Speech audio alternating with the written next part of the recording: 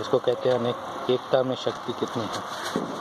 अगर एक दिया रखा हुआ है तो इतनी तेज हवा उसको बुझाए दे देगी परंतु अगर तीन दिए एक साथ रखे हैं। उन तीनों की लौ हर दूसरे को हिम्मत दे रही है, जिससे कि ये लौ इतनी तेज हवा में एकदम बढ़िया से जल रही है और नहीं, बेहतर रोशनी दे रही है कि कहने की बात नहीं।